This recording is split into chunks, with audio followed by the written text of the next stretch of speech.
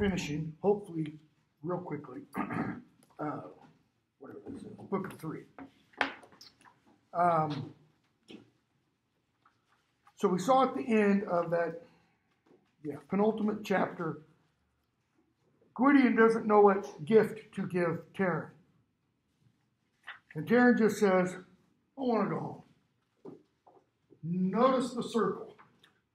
How the final, second to the last chapter, kind of mimics close to the first chapter. In the first chapter, what does Taran seemingly want? He wants to leave.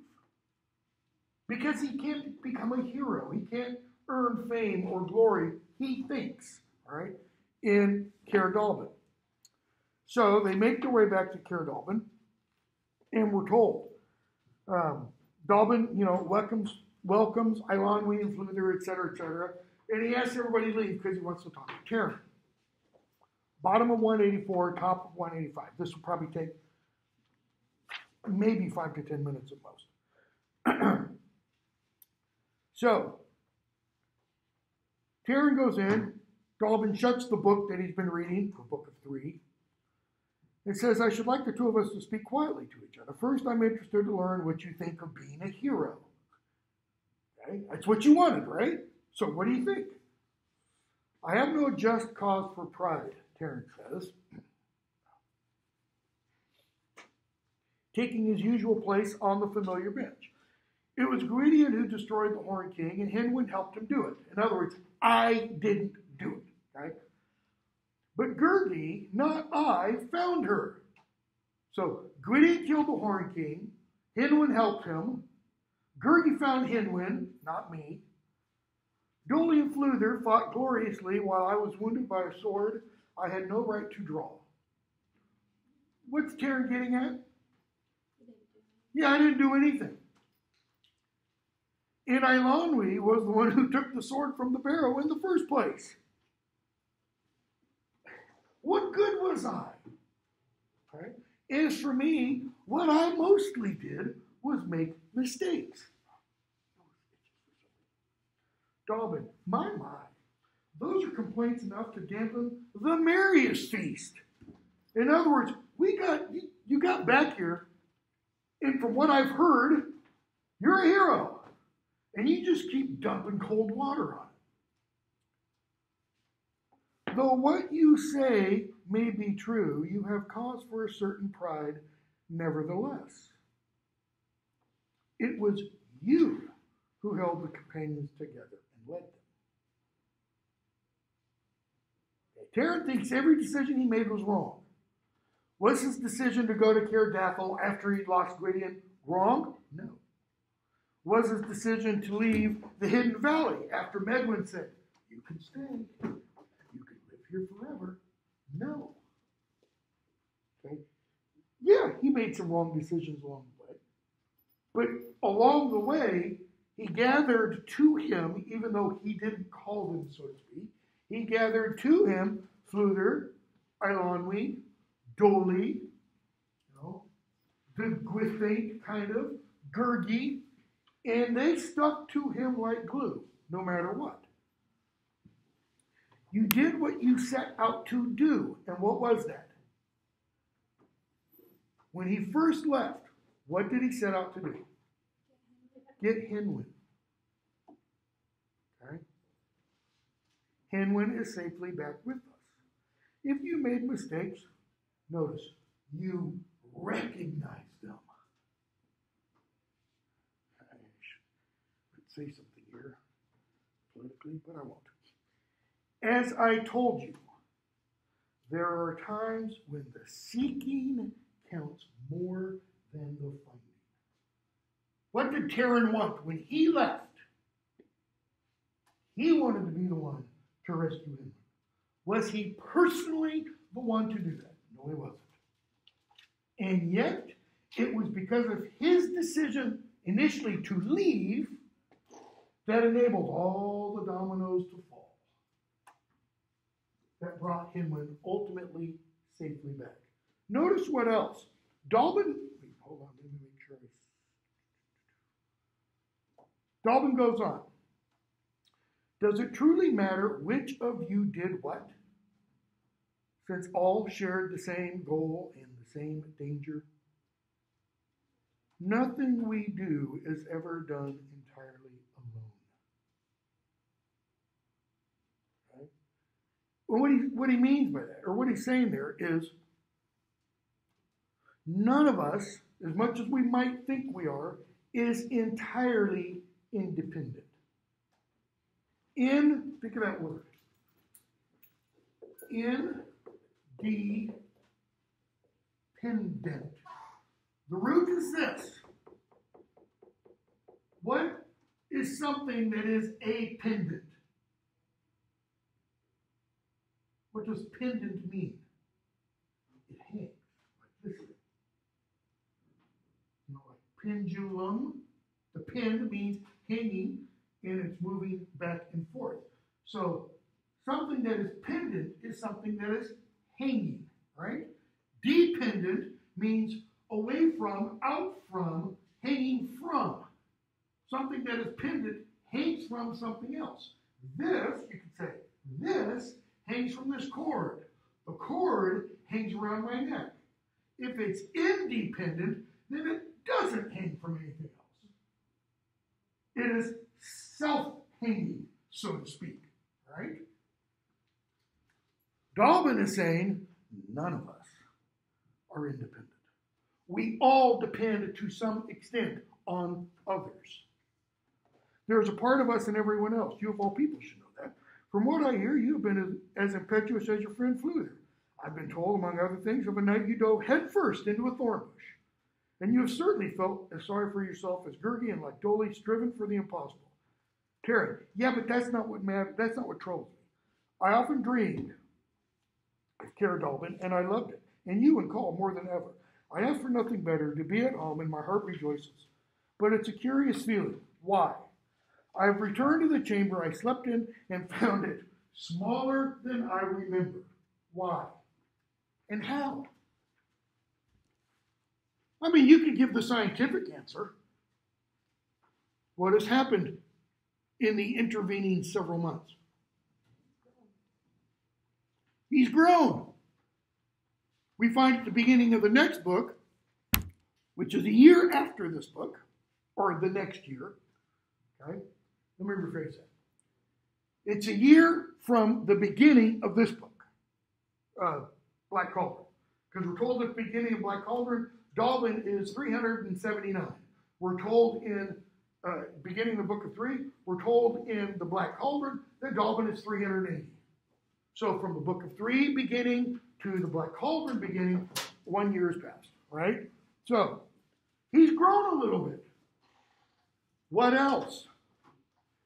He's grown a lot of it. The fields are beautiful, yet not quite as I recall them.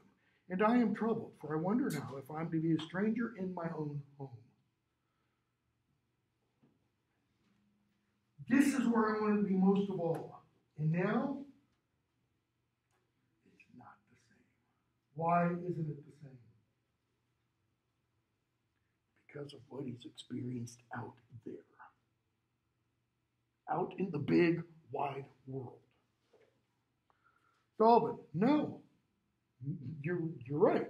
You will never be the same. Why? Not because of what Dallben says next, which is true, obviously.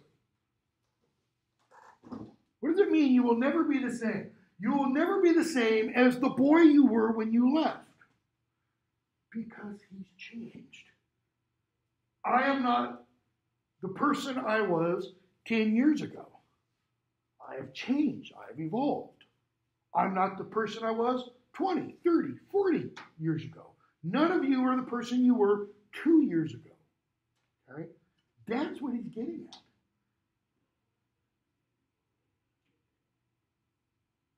All right? Now we leave that one and we pick up the Black Cauldron. And just as we did with the book of three, we need to look at the author's note.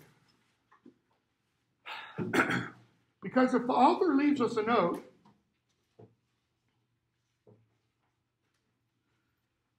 the author wants us to read it. The author's kind of saying, um, look at this, might be important, might kind of serve as a, a bit of a map.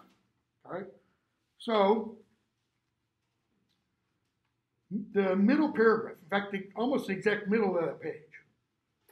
Although an imaginary world, Prydain is essentially not too different from our real one, where humor and heartbreak, joy and sadness are closely interwoven. The choices and decisions that face a frequently baffled assistant pig keeper are no easier than the ones we ourselves must make. Even in a fantasy realm, growing up is accomplished not without cost. How many of you are familiar with the Peter Pan story? What's Peter Pan's problem? He doesn't want to grow up. Tolkien in that fairy story says children are supposed to grow up. That is their end and goal. Okay? And if they don't, they become stunted. Okay? Like Peter Pan. He's meant to grow up and go off, you know, but he doesn't. The Alexander is telling us here, yeah, we won't have the same choices and decisions to make as Taran Wanderer. Why? Or as Taran of Caer Why? Because we don't have a real black cauldron in our world to go search for, obviously.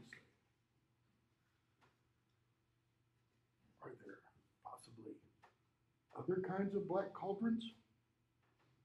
Not called black cauldrons? Yeah.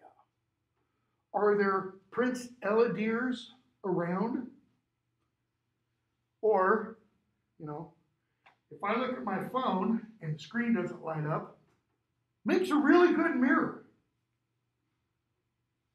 Am I supposed to see myself in Prince Ellidyr and in Fflewddur and in Gurgi, and in Eilonwy, and in Taran, and in Gwydion, and in Dallben, and in Morgant.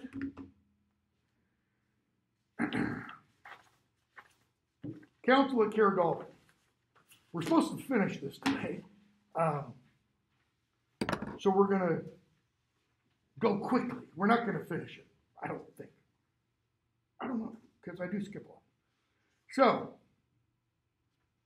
Autumn had come too swiftly, etc., etc. Summer's ending. Taran's doing his chores. Because now that he's back at Caer Dallben, what is he still? I was going to say again, but still assistant pig keeper. So he's got to take care of the pig. And he's there trying to clean Hen Wen. And this rider comes in and verbally accosts him. You, pig boy. And Taran doesn't like the way he's talking to him, so he ignores him. So he accosts him again, etc. And Taran, being the hothead that he is, mouths off. And the guy leans down while on the horse, grabs Taran by the throat, by the jacket of his, uh, by the collar of his jacket, and lifts him off the ground one handed, and rides several yards to the front of Dallben's cottage and throws him on the ground. Okay, what does this tell us immediately about this, this rider? He's really strong. Because even if Taran is 13, 14, he's probably weighing 100 pounds, 110 pounds maybe, where he's described as bigger and stronger. Now, that could be from super weakling skinny kid to less super weakling, you know, skinny kid, but I don't kind of think that's the case, right? So he can pick him up with one hand, carry him, and you know, throw. Taran, in a sense, gets what he has coming to him. Okay. So Dallben comes out and challenges the writer, and the writer says, middle page seven, I am a prince of Pen-Llarcau, Yes, yes, yes. In other words, F off. We'll call you when we need you. I will send for you.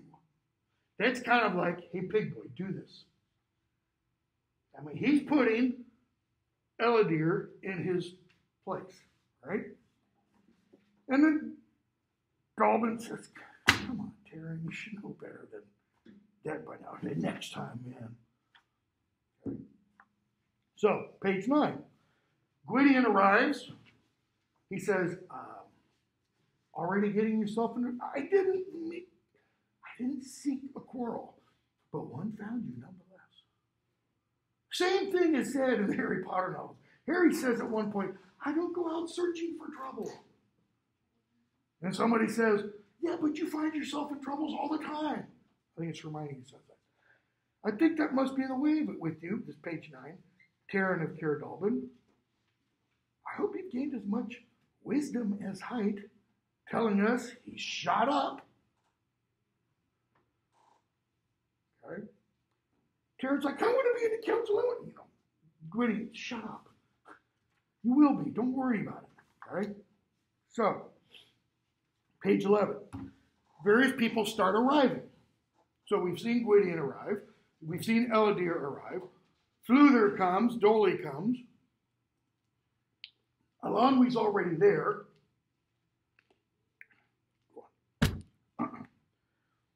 Bottom of 11. Another person comes in, and Fflewddur says, That's Adaon, son of the chief bard Taliesin.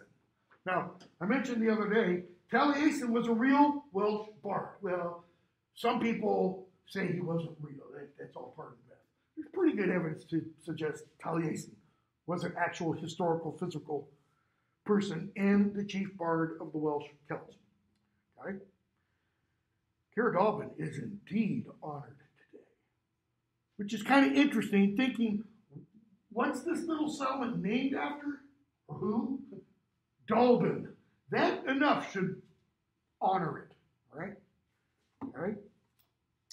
So we see Adaon, and Adaon says to Taran, top of page 12, Well met, Taran of Caer Dallben and Doli of the Fair Folk. Your names are not unknown among the bards of the north. Taran, oh, then you're a bard too? What did Fflewddur just say? He's the son of the greatest bard. Now, Taran should understand what that means. See, job, occupation is passed on, father to son, to son, to son, to son. You know, if there's a daughter in there, probably that also. Daughters couldn't, however, be bards. but what's more important about what Adaon says? Notice, are we told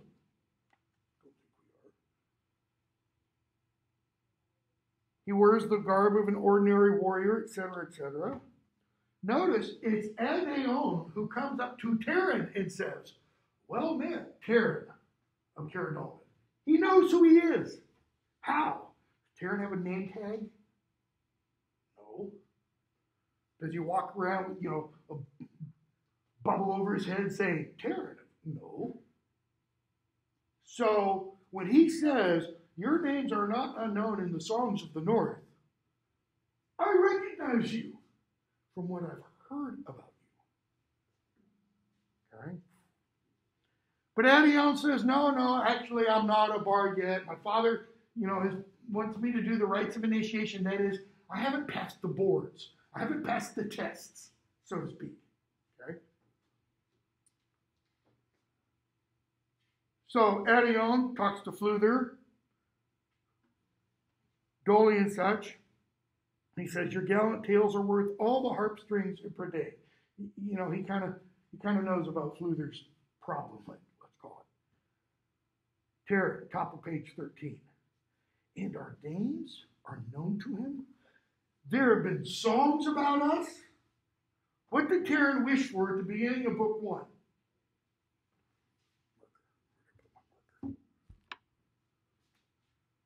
Taran, let's call this Taran's desires list.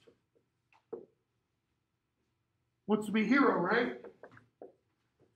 wants to be a warrior. Kind of part and parcel of saying. What else? What goes along with those?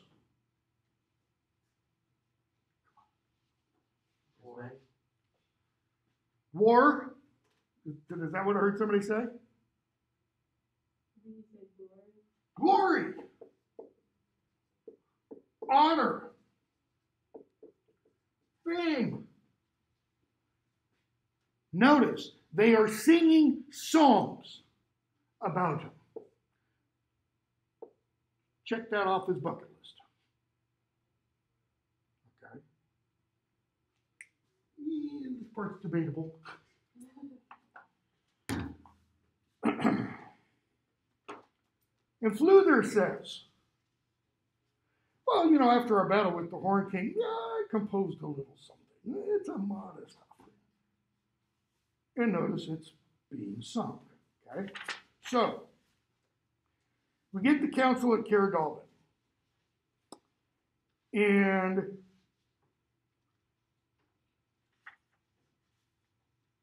we find out the cauldron's been stolen, or the reason for the council is they're going to steal the cauldron. They want to take the cauldron from Arawn because they don't want him to be able to use it to produce more cauldron born. After the events of the last year, you know, the Horn King, all that kind of stuff is discussed. So, chapter two, we get the naming of the tasks.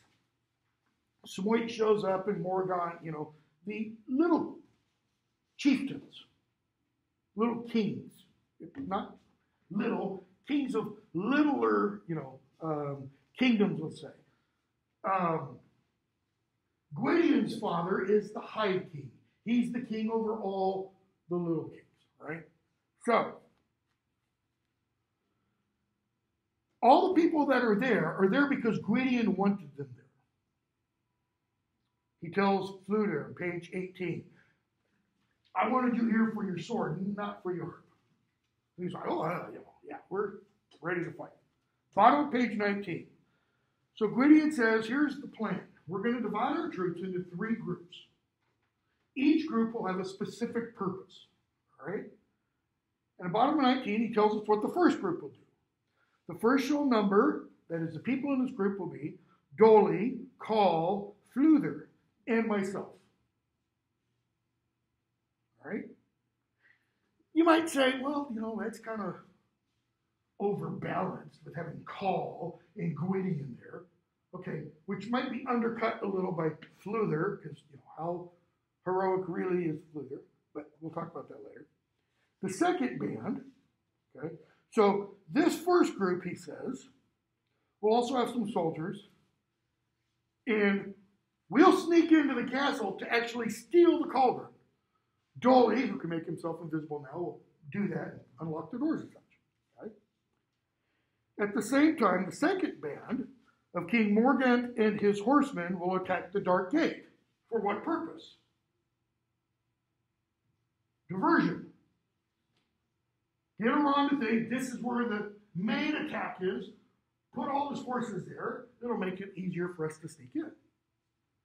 Okay? You get down to the bottom of page 20, he says, The third band will await us near Dark Gate to guard our pack animals, secure our retreat, and serve me, as the need demands. So, what's the third group going to do, essentially? Nothing. Nothing. They don't get to be in the main assault, and they don't get to be the ones, you know, sneaking around in Arawn's castle and it will be composed of Adaon, son of Taliesin, Taran of Caer Dallben, and Ellidyr. What do we immediately know? Not going to work. Okay? Because Taran and Ellidyr already hate each other. Ellidyr, I'm a son of Pillar, blah, blah, blah. Gwydion tells him to shut up, to curb his temper. He tells Taran, you shouldn't, you know, have made such a foolish, childish insult? Because Ellidyr said, This boy's untried. And Taran says, uh, Where were you when we fought the Horn King? Where was Taran, literally, when they fought the Horn King? Lying on his back, you know. Okay. And so Gwydion says, Adaon will be in charge of this group. Son of the bard, not really a bard quite yet himself, etc. Bottom of that page. Ellidyr, I have no wish to serve with an insolent pig boy. I'm a king's son. Whose son are you? He says to Taran. So you have stood against the cauldron born, and with Gwydion you have no you lost no chance to make that known. That is, you said that to belittle me. Taran, you boast of your name. I take pride in my comrades. Notice what would be better for Taran to reply rather than you boast in your name, I take pride in my comrades. What should he say rather than I take pride in my comrades? I boast in my deeds. But he doesn't. Your friendship with Gwydion is nothing to me. No shield. In other words, watch your back.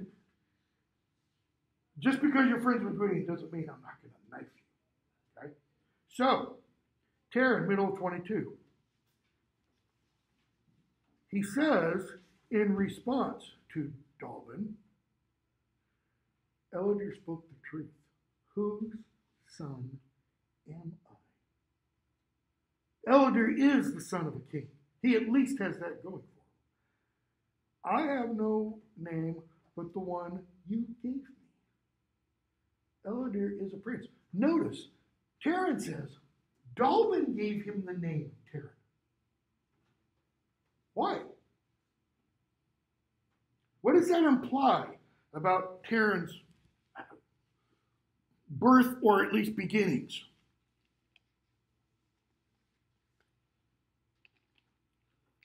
Notice his mother didn't give him that name. So Dallben didn't know the mother. He was wandering around, you know, one day. There's a baby lying on the ground. Prince he may be, says Dallben, yet perhaps not so fortunate as you. Whoa, whoa, whoa, time out. He's a prince, and yet Taran is more fortunate. Fortunate, has better luck. He's the youngest son of old Pen-Llarcau in the northern lands. His elder brothers have inherited what little there was, of family fortune, and even that is gone. That is, his older brothers inherited it all, and what they inherited, it's gone. So they've got squat too. So Ellidyr has more squat, has more of nothing than the older brothers do. Ellidyr has only his name and his sword. Though I admit he uses them both for something less than wisdom. Okay? So, Ellidyr has a name and a sword. What does Dallben do next? He gives Taran a sword. He also already gave him a name. so now Taran has a name and a sword. And he's thinking swords, you know, Excalibur and such, Anduril, magical swords. What are its powers? Or maybe the Sword of Shannara, if you've ever read that. I don't think Taran would like holding the Sword of Shannara. What are its powers, he says? That is, will it, will it lead me to you know, victory? Will it do things on its own powers? It's a bit of metal hammered into a rather unattractive shape. It could better have been a pruning hook or a plow iron. Pruning hook, plow iron. Implements of what? What trade? Farming. Horticulture, if you want to use a fancy word. Right? Rather than killing. This is important because of something that Adaon is going to tell Taran in just a few pages. Its powers, like all weapons, only those held by him who wields it. the weapon is only as good as the person who wields it. Same thing applies to other trades and crafts. You'll hear people say, Oh, if only I had the most expensive camera, I could be a great photographer. Nope. It all depends on the eye that looks through the lens finder. If only I had the greatest paints, I could be a Picasso. Well, you don't need to have the paints to be a Picasso. Uh, if only I had the greatest paints, I could be a Rembrandt. No. You got to have the eye and the touch. Okay? He says, what yours are, what your powers are, Taran, I don't have a clue. Okay? So, we get the next chapter. Adaon.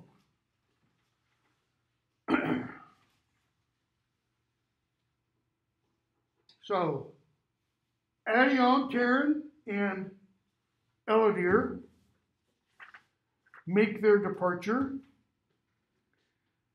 and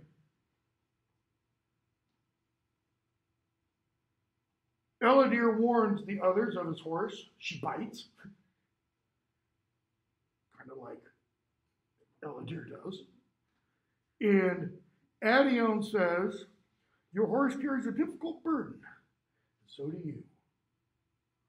What burden do I carry? Last night I dreamed of us all. You I saw with a black beast on your shoulders. Beware, Ellidyr, lest it swallow you up.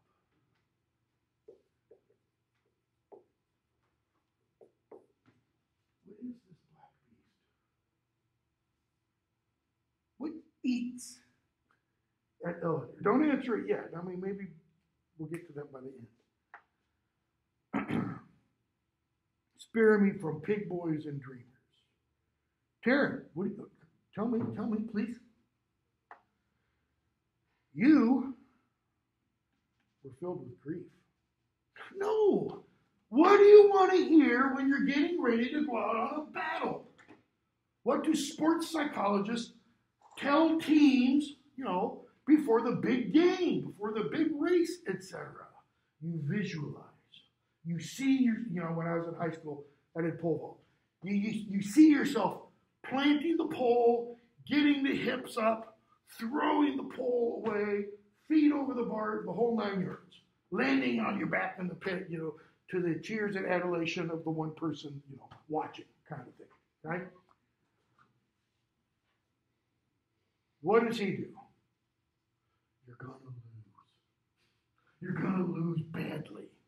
I see nothing but grief. Why? What cause do I have to grieve? I mean, I'm proud to, learn, to serve Lord Gwydion, and there's a chance to win more of that. Right? More than by washing pigs and weeding gardens. So, what does Taran think about being assistant pig keeper? None of this. He thinks it's demeaning. He thinks it's beneath him. Look at Adaon's words. And go back to what Dallben said about the powers of the particular sword that he gave to Taran. I have marched in many a battle host, but I've also planted seeds and reaped the harvest with my own hands. Planted the seeds and reaped the harvest. What happens before the seeds are planted, after the seeds germinate, before the harvest? What must the sower slash planter do? Break up the ground, till the ground, prepare the ground put the seeds in, make sure the seeds are watered. Once the seeds sprout, what else is going to sprout? Weeds. Weed the garden to make sure the weeds don't overcome that particular plant. Then you harvest. In other words, it is a process. It is a time consuming process. So, I've marched in many battle hosts, but I've also planted seeds and reaped the harvest. I have learned there is greater honor in a field well plowed than in a field steeped in blood. Notice, he doesn't say being a warrior is not honorable. He doesn't say you can't get honor in a battlefield. He says there is greater honor in a field well plowed than in a field steeped, steeped in blood. Shot in the dark. Why is there greater honor in that field than in the latter field? You didn't have to kill anybody, hopefully to plant seeds. Okay. You've gotten really close to what I'm looking for. You creating rather than destroying. The field well plowed means it's ready, it's prepared to give life. The field steeped in blood, what's happened? to put in The life has leaked out. And if it's literally steeped in blood, what's going to happen to that field? For a while at least. It's not going to support life. Okay? So the one is life giving, the other is life ending. And he's saying, giving life, preparing for life, saving life is more honorable.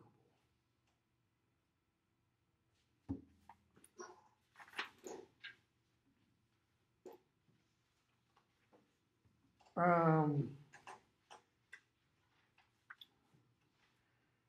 they talk as they ride alongside each other. And I've never focused on this part before, and it just caught my eye for some reason. And Adaon tells kind of of his travels.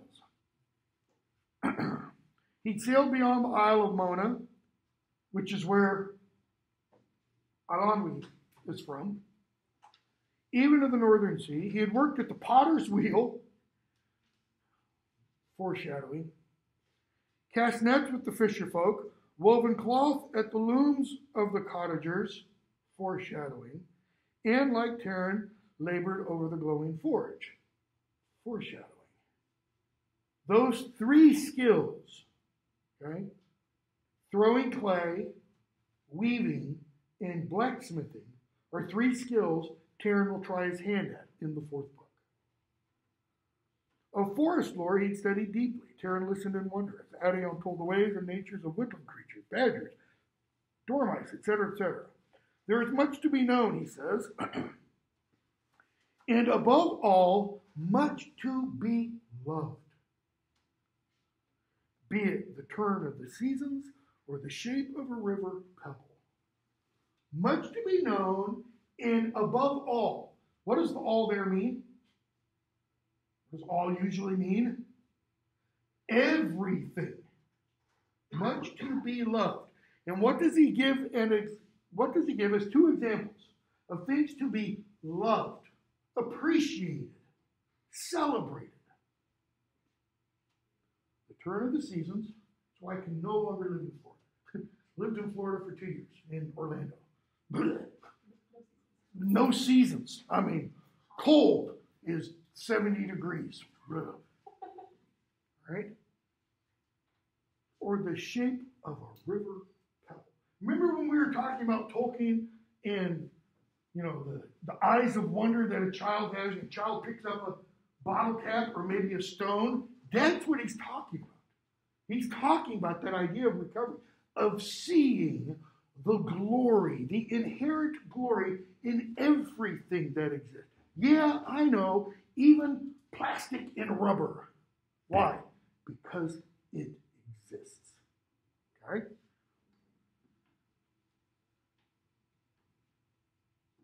So.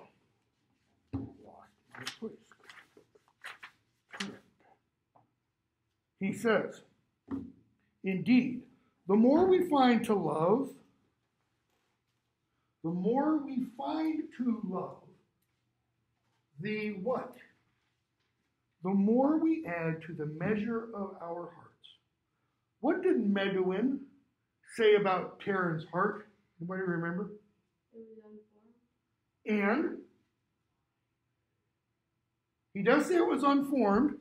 He says it was Hidden Valley.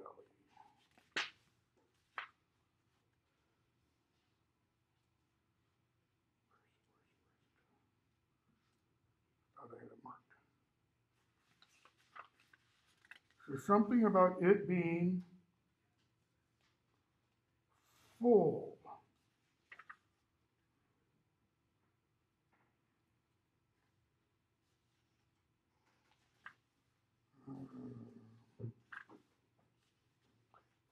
Page 124 wasn't in the chapter the Hidden Valley, it's in the one right after.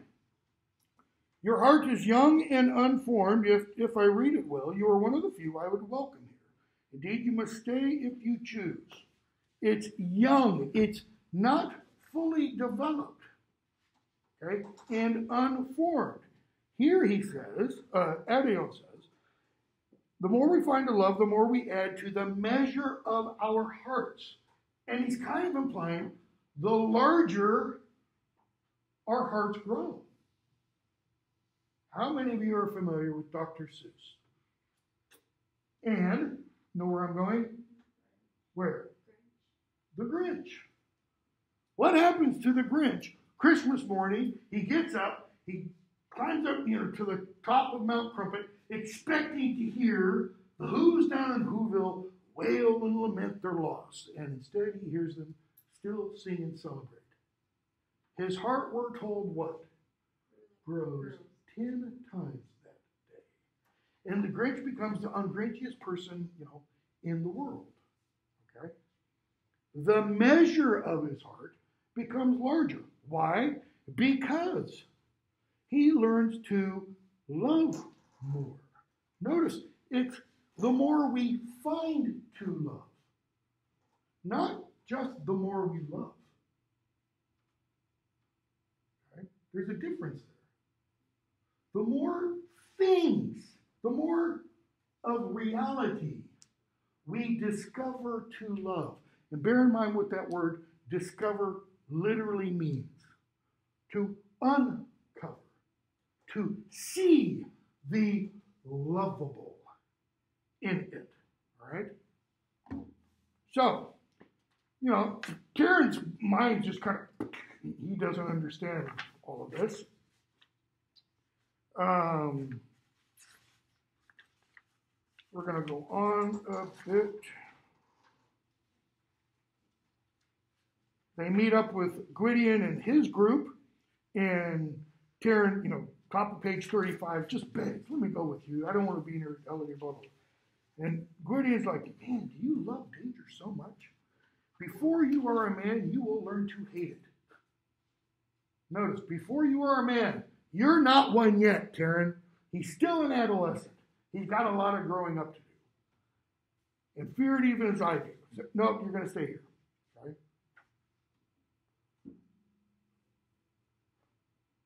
Taran's like, you know, I'd even go with Morgant. Top of the next page. Adaon. He's a brave and powerful man. But I am uneasy for him. In my dream, the night before we left, warriors rode a slow circle around him, and Morgant's sword was broken. That is, I saw Morgant in a barrel, dead. That's why the soldiers are riding around the hill. Okay? It's why his sword is broken. Adaon. Uh, Taran asks, Do your dreams always come true? Are you a prophet? Are you a seer? Adaon. There is truth in all things if you understand them well. Now that's a nice dodge. He says, Well, yes. Of course, my dreams are all true. If you understand them, that is kind of, you know, if you look at them from one perspective. Remember in the uh, Star Wars movies? You know, in the first one, Obi Wan says Darth Vader killed your father. And in the third one, the spirit of, you know, Obi Wan comes back and he's like, Ben, you lied to me. Or is it second one? Second one. Ben, you lied to me. You said Darth Vader killed my father. What does Obi Wan say? Your father ceased to be Anakin Skywalker when he went over to the dark side. So you see, from a certain perspective, what I said was true. When Darth Vader came into existence, Anakin Skywalker died. Ergo, Darth Vader killed Anakin Skywalker. And he's like, you should be a lawyer, not a wizard, man. Okay? So, in the shadow of the dark gate. Uh, da, da, da. Now we're going to skip that. We don't have time. Huntsman of Annuvin, we can skip. They meet up with Gwystyl, or or Guistul, however you want to pronounce his name. Um,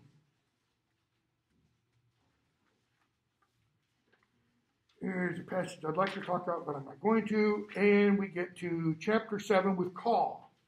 Okay? The crow. And page 63, we hear Kaw go, Urglu, Urban, Urgok. And Fflewddur's like, that bird's saying something. Okay? And so Gwystyl interprets for us, bottom of page 63. All comment to say is that the cauldron is in the hands of Orddu, Orwen, and Orgoch. That's all. In other words, the cauldron isn't where? In Annuvin, at Arawn's stronghold, where Gwydion and his group and Morgan and his group are going to. They don't know that it's not there. Okay? So, Tarek, who are they?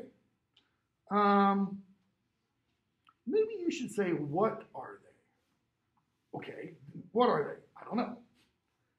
So they go back and forth, talk about a bunch of things. And they obviously have a decision to make, right? Or do they? Taran thinks they do. What does Taran think the decision is they have to make? Taran thinks they have a choice at this point. What's that choice? to go either like to get the cauldron or to go back and tell Gideon. To get the cauldron is one of the two choices, or to continue with the plan. To go follow Gwydion and set out, you know, with the pack horses and to be there for the retreat when it's needed. That that is the plan, right? Do the others acknowledge that there's that choice? I Along it's kind of like um, said we needed to do this. We should just do this. Like there's not really a choice. What's Taran thinking though? And Ellidyr, by the way. Yeah, but if we get the cauldron, what? All fame, power, glory, honor, and mine, you know. so, they go back and forth. Ellidyr says, I'm going off after the cauldron. No, no, you pig boy. You you go be Gwydion's good go do what Gwydion told you to do. Bottom of 67. Eilonwy says, Taran of Caer Dallben, notice she doesn't say Taran assistant pig keeper. You're only making excuses for some harebrained idea of your own. You've been talking and talking, you've forgotten one thing. You're not the one to decide anything. Because what has Adaon been saying throughout this little confab? Nothing. She says, Adaon commands you both. Taran, oh, you're right. So he turns to Adaon. Adaon says, Nope. This choice cannot be mine. How's that for passing the buck? I have said nothing for or against your plan. The decision is greater than I dare make, above my pay grade. I'm not going to decide. Taran, why? Of all of us, you know best what to do. How? How does he know best? Okay. You see things that Perhaps you will understand one day. For now, choose your path, Taran Dallben. Wherever it may lead, I promise you my help. Choose your path, and I will help you. What is Adaon saying to Taran? Whatever decision he makes, I'll support him. Keep going. Then following him. Keep going. You're 99% there. You're the leader. Where you lead, I will follow. With all my knowledge, all my dreams, blah, blah, blah. Okay? What did Dallben say to Taran at the end of the previous book? When Taran said, I wasn't there, I didn't do, I didn't do, I didn't. You led everyone. Okay? Taran draws back. That is, he kind of retreats, stays silent for a moment, and says, I shall go to the marshes of Morva.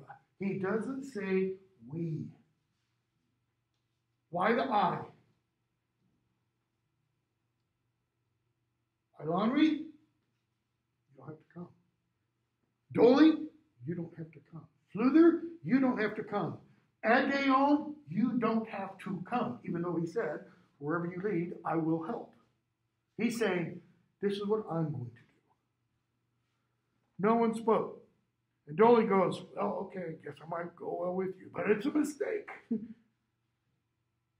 Fflewddur, no, I'm going too. I'm, I'm not sitting back. In other words, in for a penny, in for a pound, you know. So, Gwystyl's like, goodbye, have fun storming the castle. Princess Bride reference here. and we get chapter 8 of Stone in the Shoe. Okay? Taran and Eilonwy are talking about Ellidyr. And Taran says, I think he really would have tried to bring back the cauldron by himself. Bottom of page 70. And you know how much chance he would have had alone? That's the kind of childish thing I would have done when I was an assistant pig keeper. What's the when I was mean?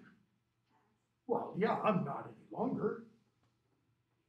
You're still an assistant pig keeper. Alon brings him back to earth. You're going to these silly swamps because of Ellidyr. So, who's the more childish? And anything else you say is pure nonsense. See what?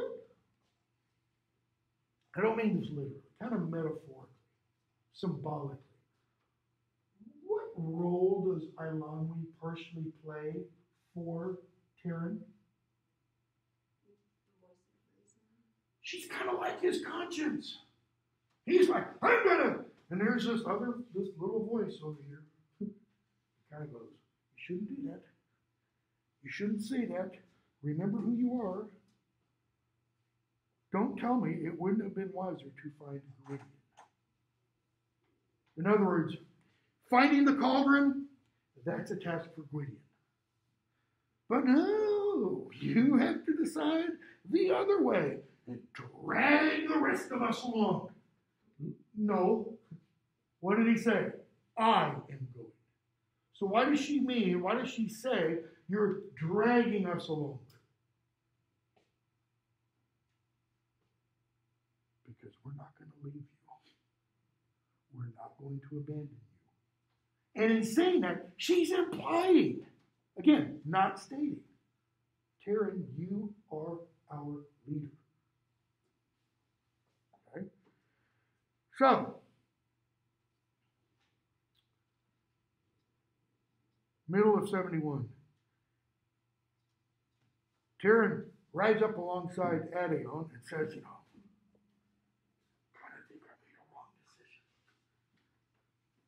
Bad choice. I wonder now if we should not turn back. What's the problem with the idea of turning back? Have any of you read The Road Less Traveled by Robert Frost? Two roads diverged in a wood. And what happens? He takes one road, the speaker takes one road, And we find out, and I shall be saying ages and ages hence. The ages and ages implies like after death. That I might have taken the wrong route. You know, because way leads on to way, and I realized that I'll never be able to get back. And one of the readings ways that poem is read is that the roads diverging are two choices. You take one, and what happens to that other choice? It's gone. It's erased. And that decision then leads to two more. You take one, and all the possibilities of the other one are now gone. Now there's a, a infinitude of possibilities as a result. And each time, you know, possible universes, so to speak, poof, out of existence. All right? Taran, you kept something from me. And had I known what it was, I would have chosen otherwise. In other words, I didn't have all the information I needed to make the wisest choice. So, what are you keeping from me? Adaon kind of doesn't respond. Taran has a, notices this look on Adaon's face. And it was pride, more than that. There was a light that almost, that seemed almost joyous. Where's that light? Is it like, you know, someone cue the spotlight? Or is it coming from within? And after a long pause, Adaon says, There is a destiny laid on us to do what we must do, though it is not always given to us to see it. What does that mean? There's a destiny laid on us to do what we must do. Like everything is fate, everything is determined, everything is foreordained. You know, Adaon is a good, strict Calvinist, you know, believing in predestination and everything. Possibly. I don't think that's really where he's going. Taran, I think you see a lot of things. Okay. That I think you see in a lot of things comes in response to, though it is not always given to us to see it. He hears that word see and says, You see a lot more than I do. Tell me what you see. Okay?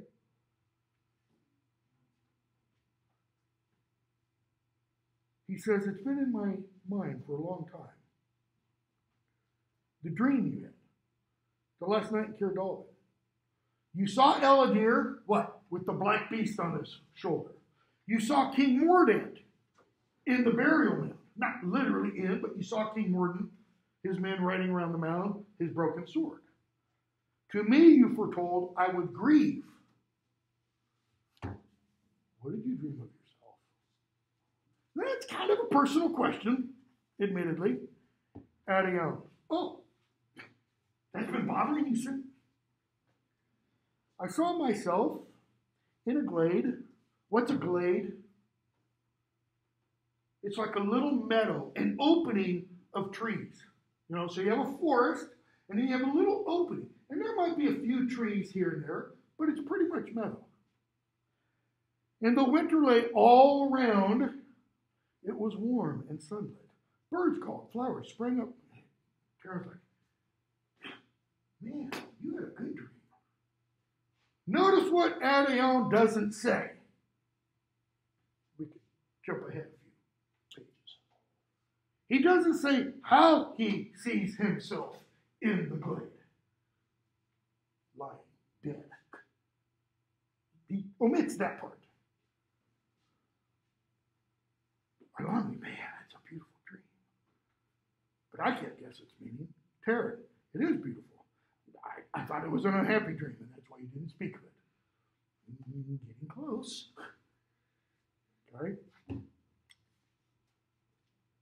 Um, so Taran tells Ellidyr there's something wrong with his horse. Ellidyr gets off. Taran goes, and Ellidyr warns him, you know, The horse is going to kill you, kid. And Taran gets up to the horse, lifts the hoof, and finds what? A stone buried in the. Now, what is Taran showing there? Where did he get that knowledge? From being an assistant beekeeper at Caer Dallben. He learned what? He learned something about horses and why horses go lame. He learned how to approach a horse, how to lift the foot, the, the leg, to get the hoof, how to dig out a stone. There's a place deep in the hoof, middle of 74. Anyone can miss it if they don't know. Here's something Taran knows that maybe the others don't know. It was Coll who showed me how to do it. Taran had expected no thanks because Ellidyr doesn't give him. But the angry thrust of Ellidyr's words took him aback. Ellidyr's hand was on a sword. Taran noticed, felt a surge of anger. He just wants to lash out, but he doesn't. Your honor is your own, and so is your horse, your steed. What stone is in your shoe, Prince of Pen-Llarcau? What is bugging you? What is, why does he say what stone is in your shoe? Notice he doesn't say, What's that black beast on your back? What is the stone in the horse's hoof done to the hoof? Done to the horse, excuse me. Made it lame. So, what's the stone, the metaphorical stone, in Ellidyr's shoe doing to him?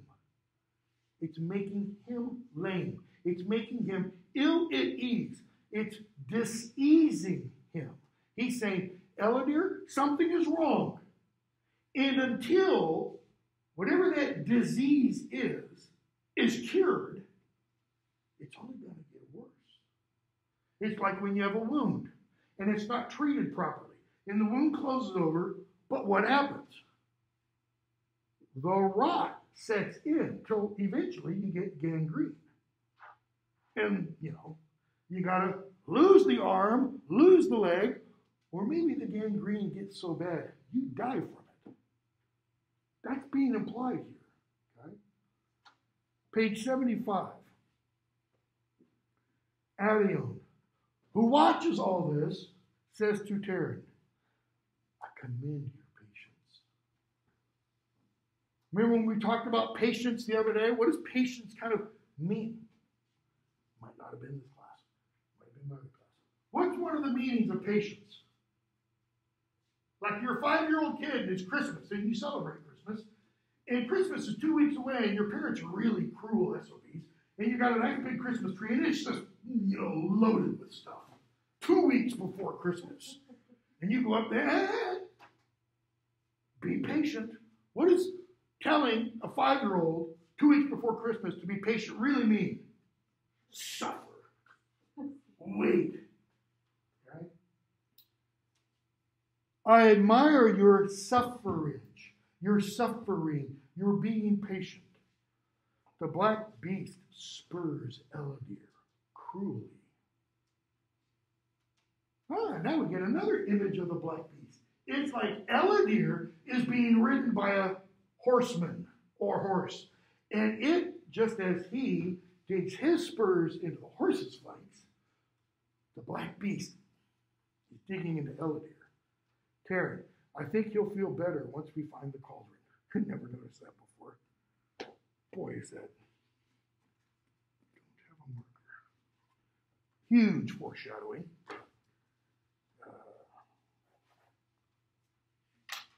There will be glory enough for all to share. What, you know, Taran, just when you really seem like you're starting to learn, you fall back on your old prosaic, you know, oh, glory, honor, fame, power, majesty, dominion, ever and ever. Adaon, is there not glory enough in living the days given to us? Come on, Darren. Think larger, think wider, think deeper. What was the Tim McGraw song years ago about the, the guy who finds out he's going to die? Live like you were dying. What's he going to do? He's going to ride the bronc. He's going to jump out of the airplane. In other words, he's going to live life to the fullest. This, by the way, is recovery. Is there not glory enough in living the days given to us? Don't worry about glory off in the future. Live now. You should know there is adventure in simply being among those we love and the things we love, and beauty too. There is adventure and beauty in being among those we love and the things we love.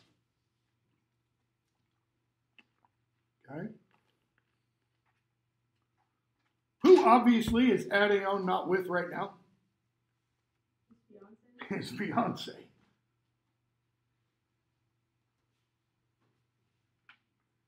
But I want to talk to you about something else. Middle of 75. He says, I have few possessions. Why? Count them of little importance. Like at the end in, in one of the Harry Potter books. Harry's in Dumbledore's office and he's just smashing stuff up left and right. Book five. And Dumbledore's like, go ahead, Harry. Have at it. I dare say I have too much stuff. Material things don't mean anything to Adaon. He says, but these few, few things I do treasure. Lluagor, my horse, my packets of healing herbs, and this. And he touches the brooch that he's wearing. The brooch I wear, a precious gift from Arianllyn, my betrothed. Should any ill befall me, they are yours. All of these. Notice he doesn't say, oh, and by the way, take the brooch back to my fiance. They're yours. I watch you closely, Taran of Caer Dallben. In all my journeys, I have not met one. I have met no one else to whom I would rather entrust them. You know, almost his first words to Taran were what? Back in the beginning. I've marched with a lot of battle hosts. And now he says, I've never met anyone to whom I would entrust these more than you. Who does that obviously include? His fiance, his father, Taliesin, the greatest bard, Prince Gwydion, probably Prince Gwydion's father, King Math, Dallben, and all the people in those battle hosts he served with. He's essentially saying, You're the most worthy of all these people. No, no, no, no, nothing's going to happen to you, Taran says. We're companions. We'll protect one another. Come on. Your gift, that's friendship enough. It's just pot boiler blather. Oh, I don't want anything from you. It's just having your friendship is. Nevertheless, we cannot know all the future holds. Will you accept them? Yes. Good. Why, oh, good? How can Adaon, skip a few pages, now die? Relieved. He knows these things will be cared for. Okay?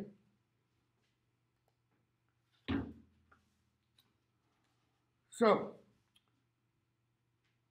they get surprised by the huntsman.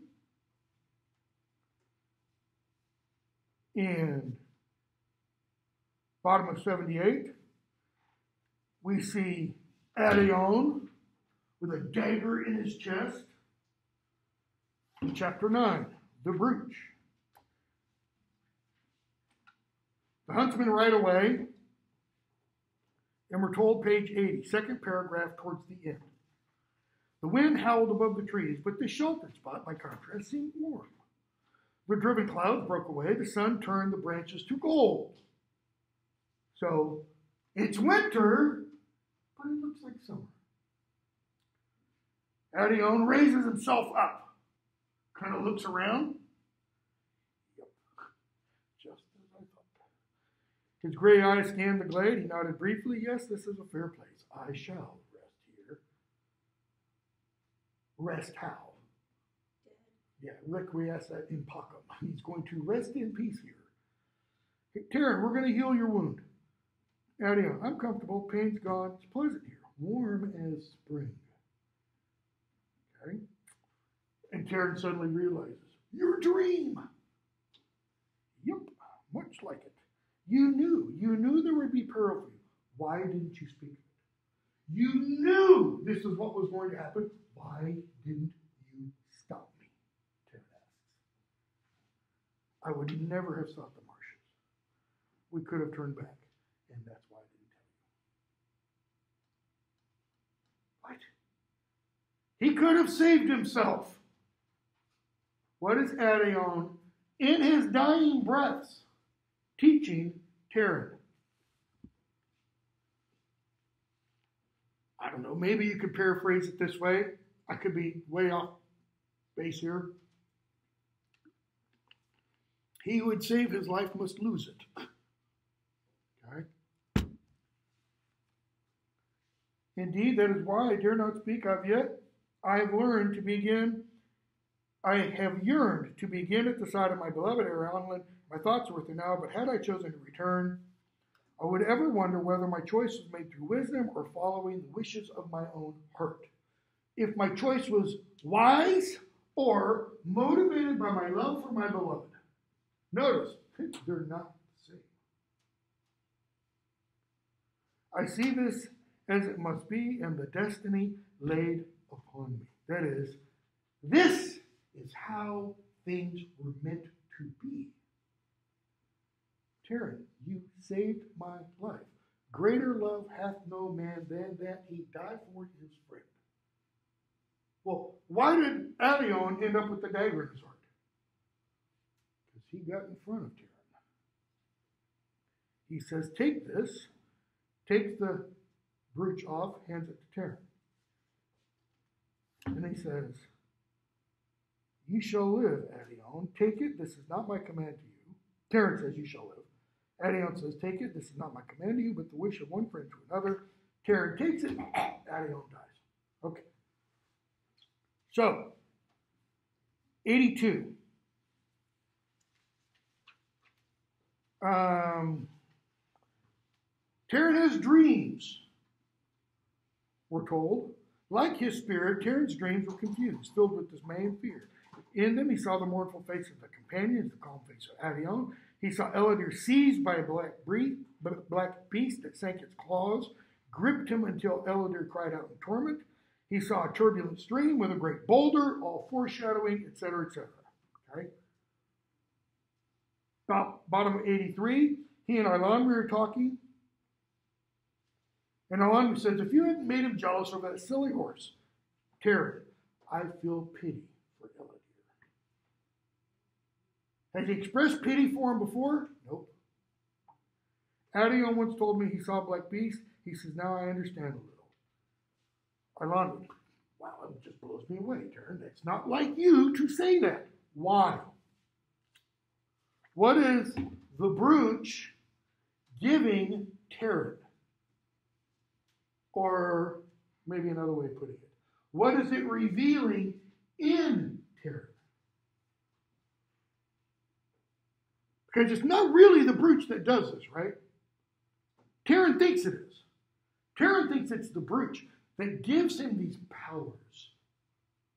All the brooch really does is it opens him to use the language Arion used. The wonders of the world, to see that everything is to be loved and such. And suddenly, middle of 84, he's aware of vast activities of the forest trail, squirrels, etc., birds, the air, the sounds of the water, and such. Okay?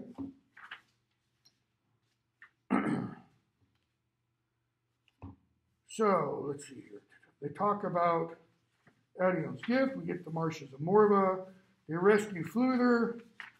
Find Fflewddur if you want. Just before the cottage, end of chapter 10. They arrive to this cottage. They look in the windows.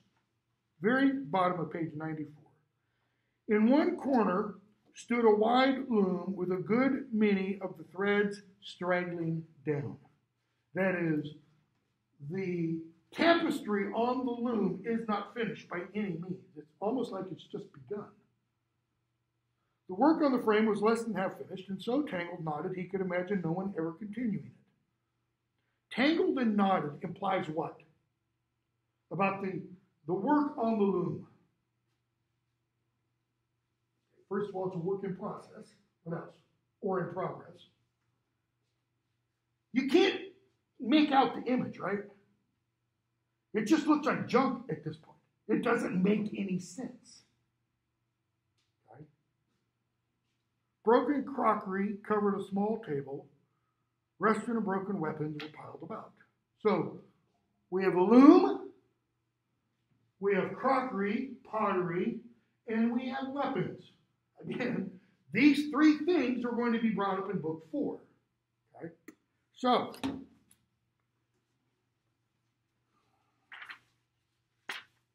let's skip a bunch. Who do they meet in this cottage? Orwen, Orgoch, and Orddu. Orwen, Orgoch, and Orddu. What are they? By now, they're the fates.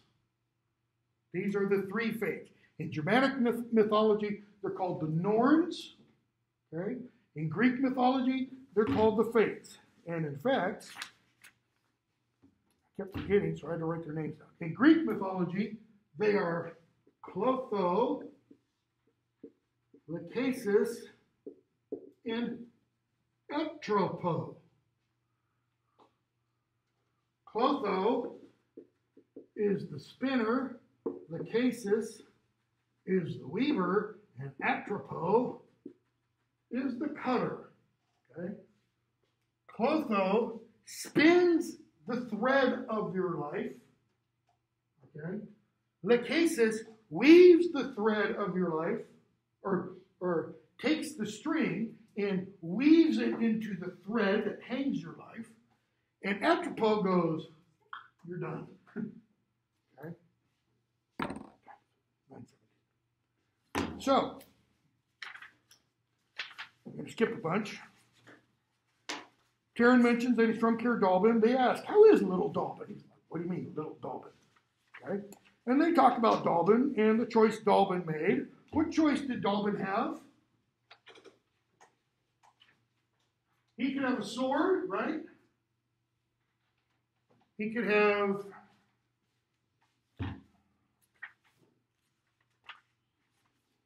he could have a harp, a sword, page 105, or the book of three. He could have a sword, he could become the most famous, greatest warrior there was. He could have a harp, he could become the most famous, greatest bard there was. Or he could get a book and become the greatest enchanter. Right? So, they mentioned, yes, we do have the crochan, as it's called, the black crochan. And Karen and the others come up with a plan. We're going to steal it because they find it in the, you know, the storehouse. And that night they go back. They're kind of camping outside. They go back up to the cottage and they look in, page 117, and what do they see? They don't see three old, fat, saggy hags. They see three swimsuit models. Inside the cottage, three figures went about their tasks. They're beautiful, Armand says. Taran, I don't know who they are, but they're more powerful than we thought. So, They say, sure, you can have the black cauldron, but you got to exchange it for something. And it takes a long time before the final price is achieved. Why? What must be given up for the black cauldron?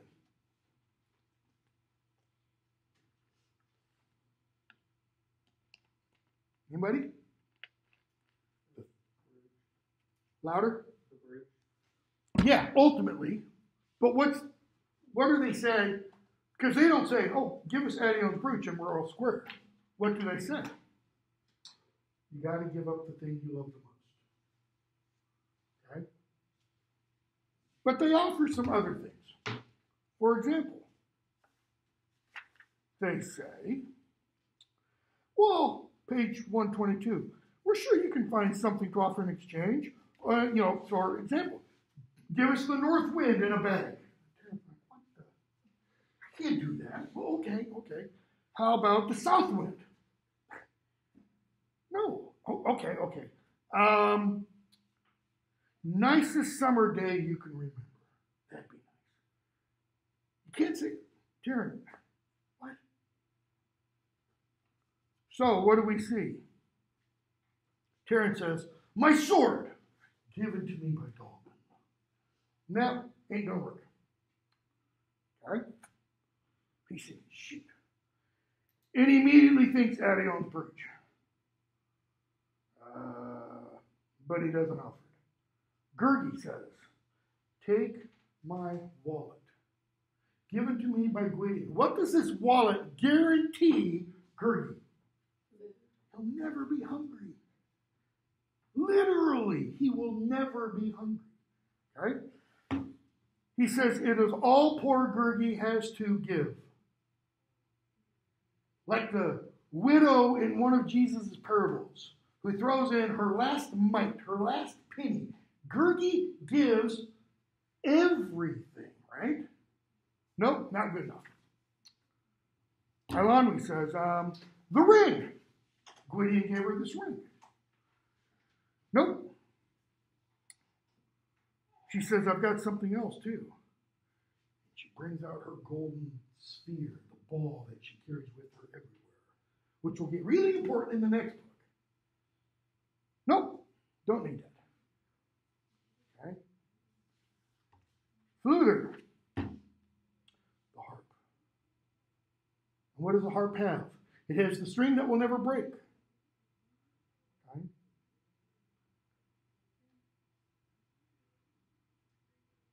Karen finally says the bridge. I'll give you the bridge. Page 127. Karen says, You could have slain us. You could have just taken it. Do you not understand, poor chicken, like knowledge, truth, and love themselves? The clasp must be given willingly, or its power is broken.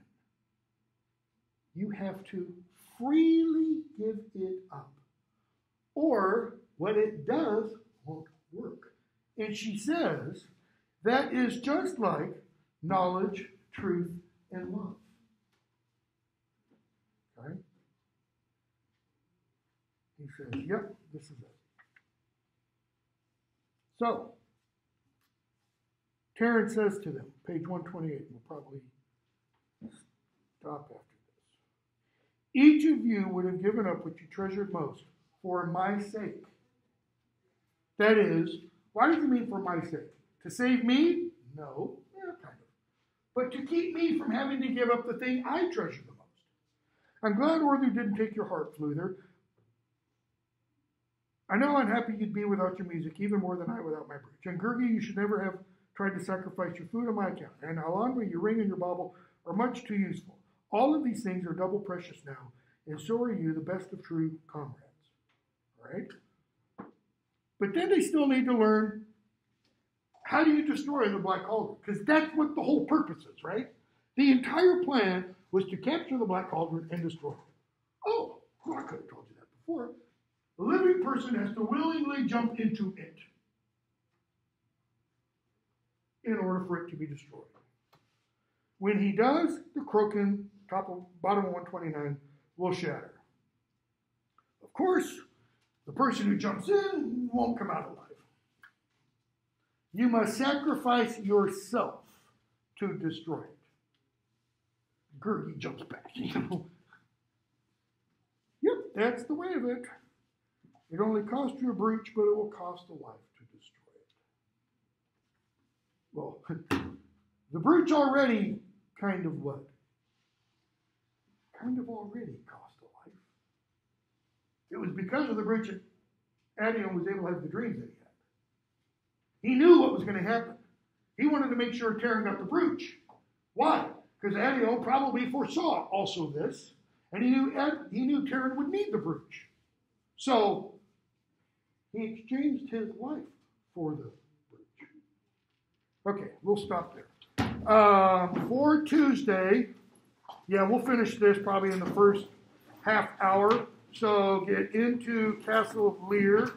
There's a quiz due tonight, I believe, 11:59. Um, and I'll probably I'll have another quiz ready maybe Sunday or Monday over what are we reading? Over the Black Cauldron. No, take that back. I won't have that until after Tuesday. Okay, that's all.